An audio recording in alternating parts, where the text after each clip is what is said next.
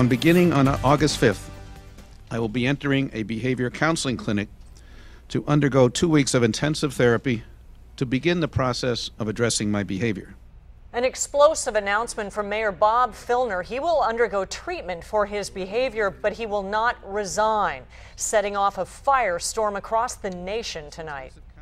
Does he need therapy to know that you don't treat women as pieces of meat? Good evening. I'm Kimberly Hunt. And I'm Steve Atkinson. Team 10 broke this story on 10news.com before the mayor even announced it. And new tonight at 11 what a mayoral intern is claiming he saw the mayor do. Plus, 10 News is speaking to the man behind a new recall effort that some say was actually started by Filner supporters and could actually hurt the chances of recalling Filner. The 10 News reporter Janet Kwok begins our team coverage with why the publisher of LGBT Weekly says he is just trying to give the people what they want. Janet.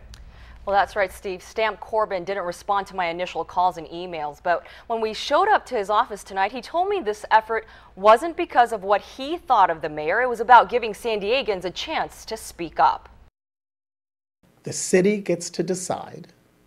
If they decide he goes, he goes. If they decide he stays, he stays. And with this newspaper announcement, Stamp Corbin took the first step to recall the mayor.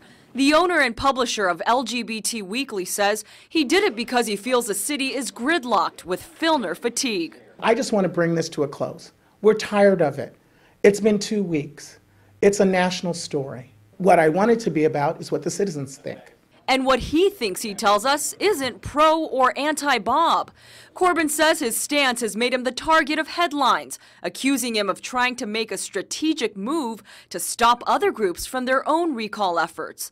So we wanted to know if more than one recall process can run at the same time. After all, if one recall campaign fails, petitioners would have to wait six months before filing again. Our calls and emails to the city clerk's office were forwarded to the city attorney. When we didn't hear back, we went to the attorney's downtown office for answers and were told we'd have to wait until Monday. Time Corbin says the city can't afford. The major issues, all of the things that need to be resolved um, for our wonderful city are not getting done. And so here's an opportunity to bring this to closure quickly so we're not talking about this for the next 18 months. And Corbin won't be paying anyone to gather signatures, but he will be hiring a third-party accounting firm to tally those signatures up. Now, petitions will be available at the LGBT Weekly's office in Bankers Hill by mid-August, and Corbin says he plans on posting the petitions online as well. Live from the studio, Janet Kwok, 10 News.